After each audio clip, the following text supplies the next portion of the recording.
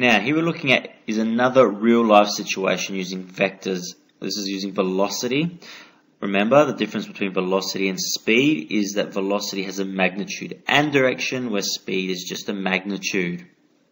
Now, this is a real life situation for pilots. So we have a light aircraft flies at 250 kilometers per hour aiming due south. Find the actual speed if it encounters a 50 kilometer hour wind from the southeast. Now let's just define where our north is. So that's south, east, west. So what we're going to do is look at our vectors. So we've got the plane which is flying south. So that's due south. So it's straight down in the south direction. That's magnitude of 250. Now we have a wind that's going in south, coming from the southeast. Alright, that means it's coming from the southeast, so it's coming up like that. So that means it's actually traveling in a northwesterly direction. So our vector here would be northwest, like that, and that would be 50.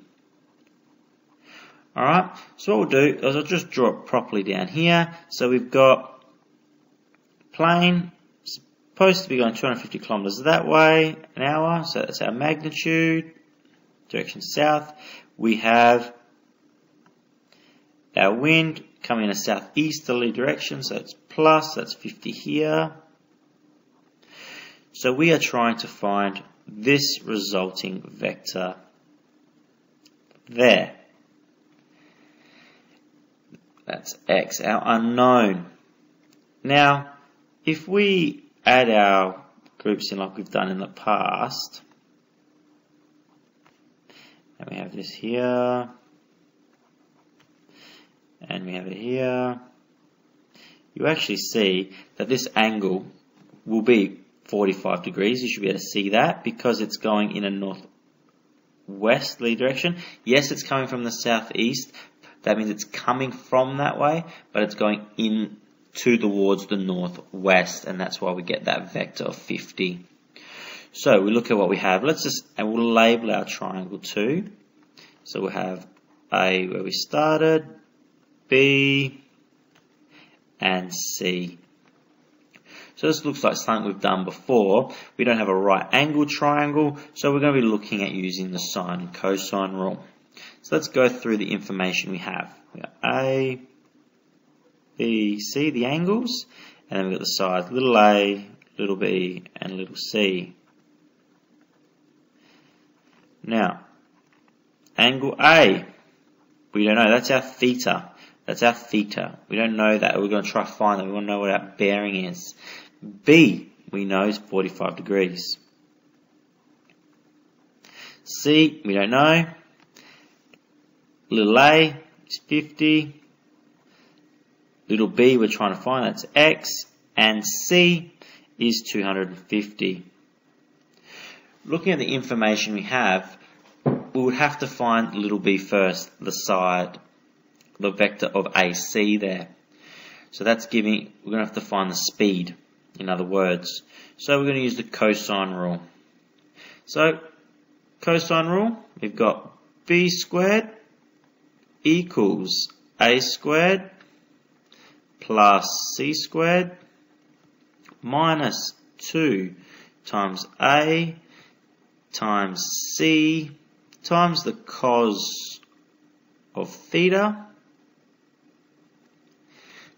Now put our information in, we've got b squared equals 50 squared plus, well, that's going to be 250, not 25, plus 250, 250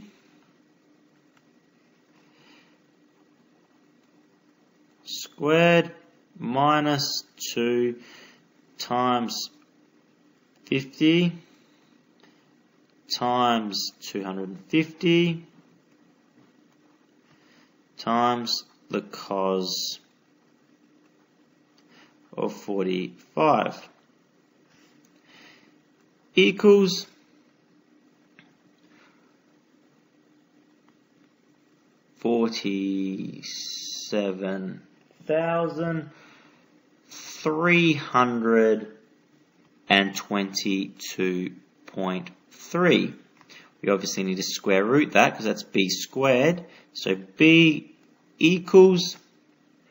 217.5. 0.5. So that is how fast that plane is traveling. Okay? Now, knowing B, we can find the angle at A using the sine rule. Okay? Because we have B now. So, we want angle A. So that is sine A over A equals sine B over B. Put our information in. We don't know what A is. Sine A over 50 equals sine 45 over 250 sine A equals 50 times sine 45 over 250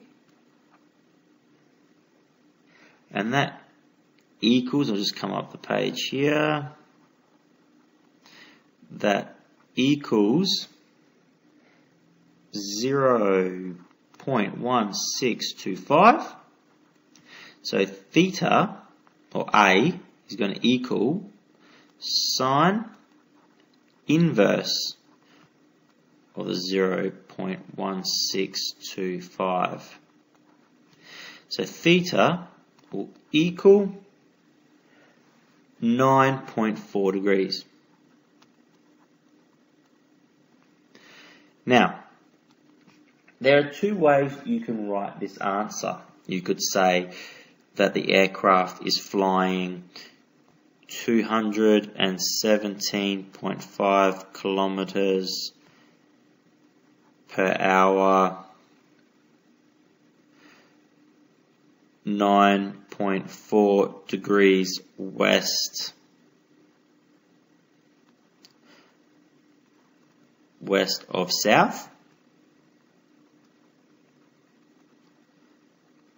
Or instead of the 9.4 degrees you could say 100 at a bearing of 189.4 degrees. Now the 189 degree 0.4 comes from 180 plus the 9.4 because it is going due south. Due south is 180 degrees of north. So either one of those answers would be correct. Just got to make sure it's what it says in the question. Okay? Either one of them would be acceptable.